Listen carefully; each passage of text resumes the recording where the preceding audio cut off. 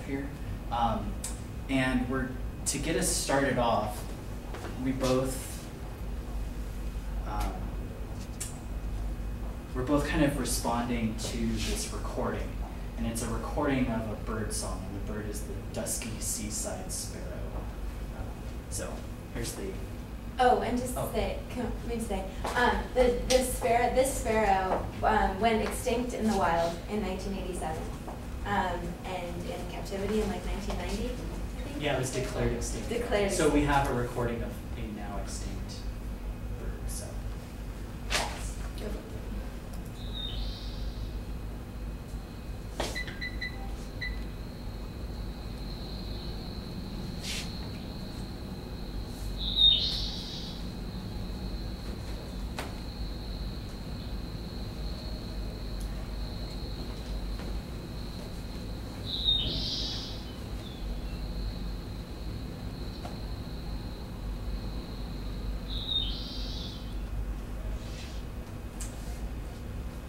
Birds are ubiquitous poetic figures. Think of Wallace Stevens' 13 Ways of Looking at a Blackbird, Chaucer's Parliament of Fowls, Blake's famous lines from Auguries of Innocence. A robin redbreast in a cage puts all heaven in a rage. A dove house filled with doves and pigeons shudders hell through all its regions. Billy Collins even recently edited an anthology called Bright Wings, an illustrated anthology of poems about birds. What is more, we imagine our poetry as birdsong. Barbara Hamby's Thus Spake the Mockingbird, fantastic title, uh, concludes with bird and poet speaking as one. I am the choir, here, my wild throat crowd the exploding sky. Oh, I can make a noise. Just as birds move our poetic urges, we also dream of moving in birdish ways. Humanity's first powered, heavier than air flight happened at Kitty Hawk. Two, though, the ancient legend of Icarus speaks of the possible harsh outcomes to flights of fancy. Birds' songs and flight possess beauty and freedom that we find achievable in some measure, but ultimately lack. Such powerful identification and longing gives wing to myriad senses of captivation, to be moved by something, but also to be held captive. I'd like to think a little bit about the ways this particular song, the song of the dusky seaside sparrow, might be variously moving. To help me do this, I'm briefly going to turn to John Lydgate, a late medieval poet monk. Lydgate's 15th century poem, The Churl and the Bird, captures birdsong's ability to move us. In the poem, a gardening peasant snares a songbird because of her efficacious singing, with which her song mocketh heavy heartes leet, with which her song makes heavy hearts light. The line rises from rounded whispers to crisper consonants, the W's and H's of which, with her mocketh heavy heartes, give way to the ch of which, k of mocketh, and t of heartes, all lifting toward the, toward the line's closing leet. Lydgate's poem imagines the bird's sonic beauty as effecting. The song unburdens, makes, making listeners feel better, feel freer. And we feel the song's uplifting power embodied in the line's sounds. How does the song of the dusky seaside sparrow move us? The song is three simple notes. First, a clear whistle, then a quick turn upward, called an upslurring by the American Birding Association. Finally, a lingering, oscillating tone, making the bird's song sound querulous, perhaps anxious. With that final tremble, the three note song is, well, dusky, a sunset song. Maybe hearing wistfulness means I'm reading into, hearing into this small bird's call. I hear in it the fact that this records the voice of a now extinct bird. From Florida, it had the smallest range of any in North America, confined to one island and a small area along the nearby St. Johns River. In the mid 20th century, birders flocked to see the bird, which was included in the ABA's checklist of North American birds, a book Mark Jerome Walters calls the Bible of the dedicated birdwatcher. The bird's constrained habitat was destroyed by DDT spraying, to sanitize NASA's Kennedy Space Center.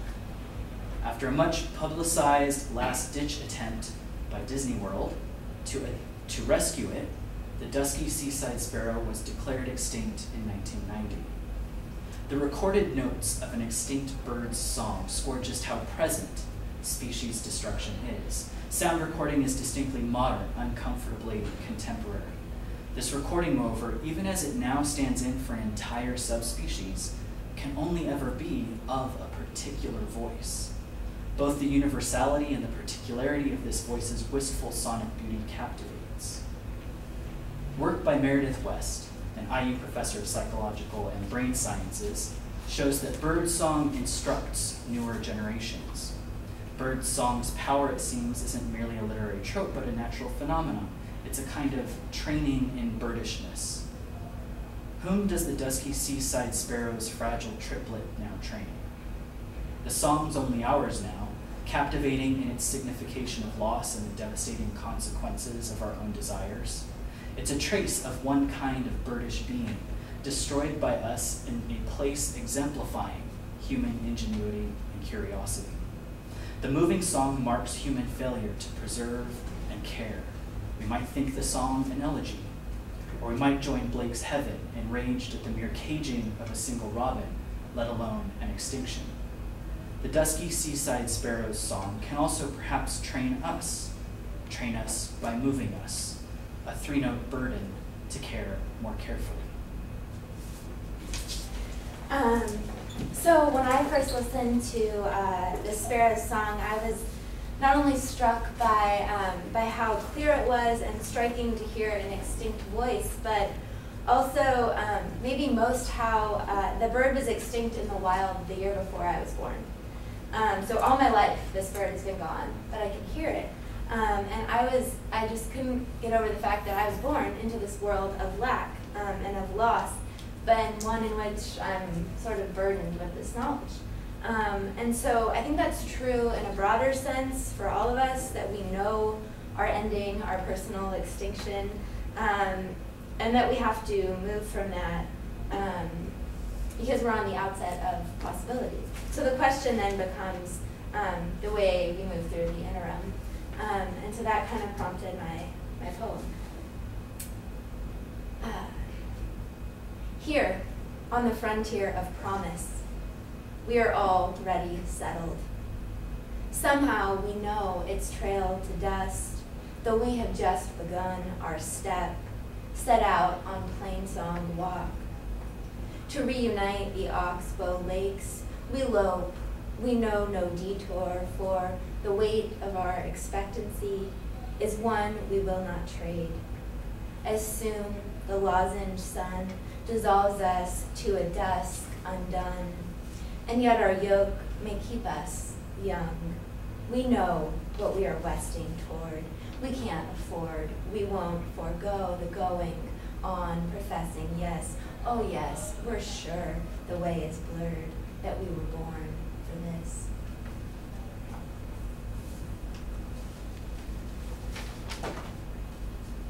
And in, we, we kind of, in doing this conversation, wrote up our responses to the bird song and now, and then we decided to trade our responses and, and then sort of converse about what the other had Right. come up with. So it's like a double. Yeah. Yeah. So we're responding to the to each other's. Um, so my next short piece is, is thinking about and, and thinking with um, here on the frontier of promise. Knowing what we know, having the history that we have, how do we move forward? In what ways can we still talk about progress or about striving, given a history in which the dusky seaside sparrow goes extinct on NASA's doorstep? Here on the frontier of promise is about moving forward, about westing, when we know where westing has gotten us before. The poem doesn't make any promises, any unthinking utopian fantasy of wholeness implied in to reunite the Oxbow Lakes or in the going on professing yes, oh yes, for sure, quickly dissolves and gets blurred. Rather, the poem sounds a collective drive towards, toward a still unarticulated, open ended, and fragmenting this. We were born for this.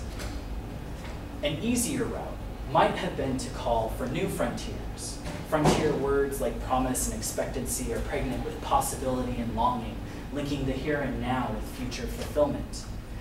For us now here, though, frontier fantasies are exactly what got us here now. The fantasy that what's around the corner is better, that wholeness or rescue or release can be found by moving on, that the next spot is just the right place, even if that spot belongs to someone else already. By fantasy, I don't mean a false, ultimately unreal nostalgia and unrealizable hope. That version ignores what I mean to highlight here the powerful ways such unreal things assert very real effects. Patricia Clare Ingham argues that fantasy partakes in complex forms of enjoyment. She states, quote, Psychoanalytic treatments of fantasy emphasize the limitation fantasy places on pleasure, structuring an enjoyment that resides beyond the pleasure principle. Fantasies of release or of control allure not by dangling simple pleasures in front of you, but because they allow for powerful identifications with and imaginings of different possibilities for the way the world works. Here on the frontier of promise bears the captivating power of frontier fantasy as it strives to think with that fantasy. This is no uncritical nostalgia for a romanticized American past. Instead, the poem works with a productive kind of nostalgia, Svetlana Boym's distinction of restorative nostalgia and reflective nostalgia might be helpful here. Restorative nostalgia seeks to recreate a mythic past in search of capital T truth. In contrast, reflective nostalgia works to hold the past, with all its attendant traumas, within one's self.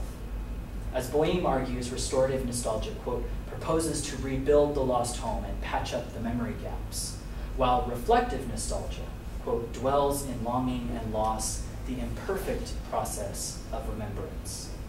I would add fantasy to Boym's formulations of nostalgia. Nostalgia is always a fantasy about what's come before and the possibilities where one can go, but not all fantasies are false trails. The plain song the poem sings is perhaps not one that mocketh heavy-hearted sleep. It knows too much, it's seen and heard too much to sing about being unburdened. In this regard, it's not unlike hearing a lingering sunset in the dusky seaside sparrow's song. And though here on the frontier of promise drives us forward sonically, the propulsion is nevertheless ever so fragile.